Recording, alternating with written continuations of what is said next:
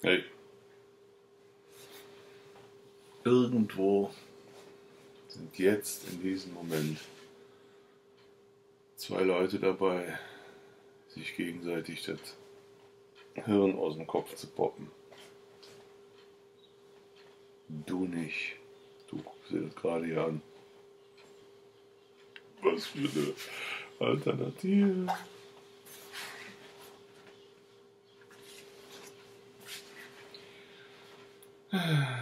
Dass der religiöse Eifer und der Glaubensmut des Kaplans nicht leere Worte waren, dafür hatte er übrigens kürzlich einen Beweis geliefert, indem er sich erboten hatte, einen gefahrvollen Missionsposten im östlichen Asien zu übernehmen, von wo noch kein Missionar lebend zurückgekehrt war. Zu seinem großen Kummer hatte der Plan aufgegeben werden müssen, weil es der Missionsgesellschaft an Geld fehlte. Seine Gedanken waren recht gewöhnliche Sonntagsgedanken, aber er entwickelte sie in einer frischen und lebenden Sprache, und es herrschte Totenstille in der Kirche, während er sprach. Selbst das junge Fräulein Esther wurde aufmerksam und hielt inne mit ihrem heftigen Weinen, um zu lauschen. Frau Engelstoft hingegen hörte und sah nichts. Sie hatte ihre ganze Aufmerksamkeit auf zwei Männer gerichtet, die im letzten Augenblick auf der äußersten Stuhlreihe drüben auf der anderen Seite des Sarges Platz genommen hatten. Den einen kannte sie nur zu gut aus früheren Zeiten. Es war Rechtsanwalt Sandberg, und sie erriet, dass der andere mit der Negerfratze Schuldirektor Brandt war. Die ganze Zeit während der Rede des Propstes hatten sie da gesessen und miteinander geflüstert, und sie war dabei ununterbrochen beobachtet.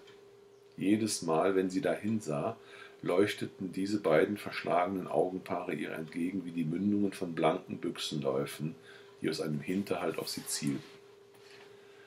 Nach der Feierlichkeit in der Kirche fand die Bestattung draußen unter ein paar hohen Hängeeschen statt, wo sich die Familiengrabstätte befand. Dem Wunsch des Verstorbenen gemäß verrichtete der Kaplan das Erdaufwerfen, und kaum hatte er mit einer starken Stimme die Worte aus der Erde sollst du wieder auferstehen gesprochen, als auch schon die vier Messingbläser des Wählervereins mit einem Choral einfielen, der die Hunde unten im Dorfe heulen machte. Durch eine Allee von verlegenen, durch eine Allee von verlegen grüßenden Menschen gingen Frau Engelstoft und ihre Tochter zu dem wartenden Wagen mit dem florumhüllten Laternen hinaus.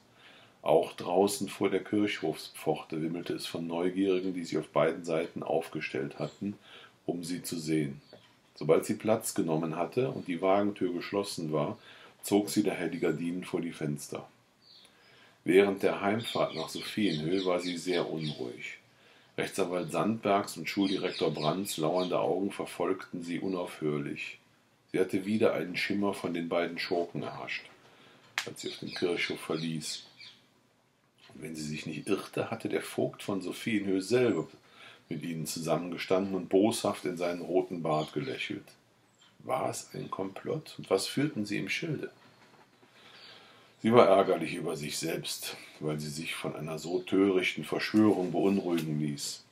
Was hatte sie zu fürchten? Solange die Toten nicht zum Reden gebracht werden konnten, sollten weder List und Gewalt ihr irgendein Geständnis entlocken. In Bezug auf ihr Gewissen war sie sicher. Das hatte sie freigesprochen. Sie hatte nur getan, was die Mutterpflicht ihr befahl, wenn sie Betrug mit Betrug vergalt, um das heilige Geburtsrecht ihres Kindes zu schirmen. Im Übrigen war sie davon überzeugt, dass Nils schließlich sein Unrecht eingesehen und es wieder gut gemacht haben würde, falls er gelebt hätte.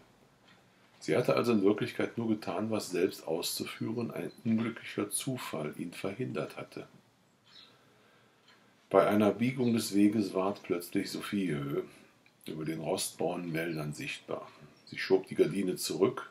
Die untergehende Sonne schien auf den kleinen, weiß getünchten Turm mit der blauen Uhrscheibe und den vergoldeten römischen Ziffern. Sie erinnerte sich jenes Herbsttages vor zwanzig Jahren, als sie denselben Weg von der Kirche nach dem Schloss fuhr, als glückliche Braut. Auch damals hatten die Glocken der Kirche geläutet und die Leute hatten sich um den Wagen gedrängt, um sie zu sehen und in ihrer Einfalt hatte sie an ihr Lächeln, ihre Glückwünsche, an den Schwulst der Festreden und die Treuegelöbnisse ihres schönen Bräutigams geglaubt. Sie wusste damals noch nicht, dass das Wort eines Menschen selbst das feierlichste eine Redensart war und dass Ja und Nein in Wirklichkeit dasselbe bedeuten. Das aber hatte sie in diesen 18 Jahren gelernt, dass das Leben in der Lüge und in dem Betrug einen seiner schönsten Triumphe feierte. Die Welt wollte ihre eigene Schande, wie der Mensch schon im ungeborenen Zustande seinen naturbestimmten Platz zwischen dem Kot hatte, so gedieh der größte Teil von ihnen auch später am besten in Schmutz und Fäulnis. Wenn sie an die vereinzelten Menschen dachte, dass sie um ihre Güte und Treue willen geliebt hatte, an ihre Mutter, an ihren armen Bruder Jean, an ein paar Spielgefährten, war es, was war aus ihnen geworden? Niedergetreten, zermalmt, während alle diejenigen, die sie verabscheut und verachtet hatte, miteinander und Frauenschänder, Gemeineider und Frauenschänder, Falschspieler und offene Verbrecher, sich jetzt als leitende Männer der Nation ringsumher im Lande an der Festtafel breit machten, betitelt und begrenzt. Der Ruhm des Volkes und des Landes. Der Wagen bog in die lange Allee ein, die zum Schluss hinaufführte. Esther, die während der ganzen Fahrt ein Taschentuch vor Augen dagesessen, geschluchzt hatte, warf sich mit einem Ausbruch von Angst und Verzweiflung vor, von der Leere, zu der sie zurückkehrte, an die Brust der Mutter. Frau Engelstoft zog sie an sich, machte aber keinen Versuch, sie zu trösten. Sie strich ihr über die Wangen und sagte, Du bist glücklich, Kind, du kannst doch weinen. Es war eine Woche seit dem Begräbnis vergangen und Frau Engelstoft hielt sich immer noch auf Sophiehöhe auf. So sehr sie sich auch nach der Einsamkeit auf Agasögard sehnte, dachte sie vorläufig nicht daran zu reisen. Sie musste hierbleiben, um Ordnung in die vernachlässigte Leitung des Gutes zu bringen. Sie wollte persönlich alles in Gang setzen, wollte wieder Sparsamkeit im Betrieb, Pünktlichkeit der Rechnungsführung einführen. Ja, sie dachte auch daran, einen alten Prozess mit der Wegbaubehörde wieder aufzunehmen, den Nils nach der Scheidung auf sich hatte beruhen lassen.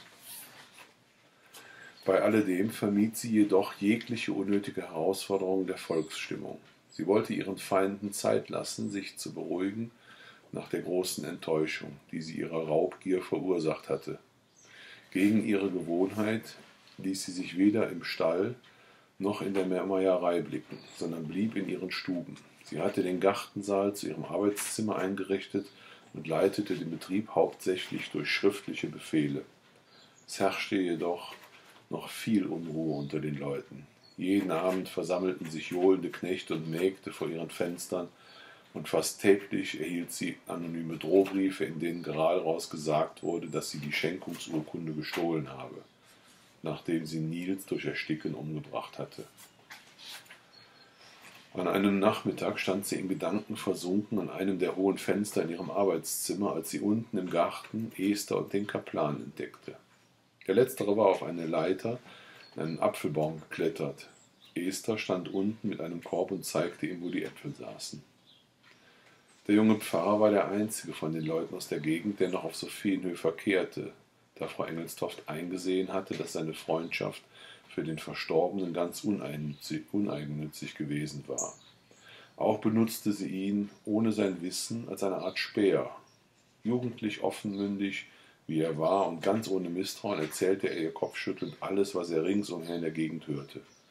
So wurde sie beständig genau davon unterrichtet, was man gegen sie plante.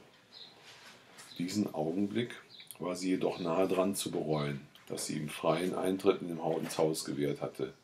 Wie sie Esther doch am Fuße der Leiter stehen und die Äpfel auffangen sah, die der Kaplan hinabwarf, ward sie von einer großen Unruhe ergriffen. Sie konnte sich kein größeres Unglück denken, als wenn sich Esther, das unentwickelte Kind, das sie war, schon jetzt in die Arme eines Mannes warf.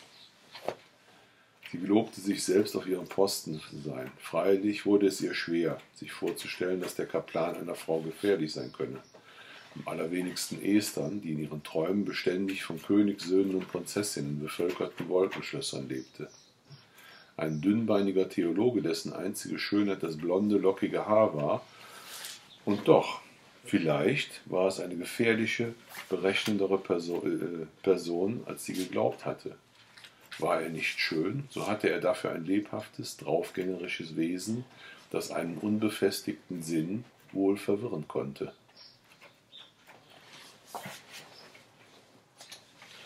Stille Wasser, kann man da vielleicht auch sagen.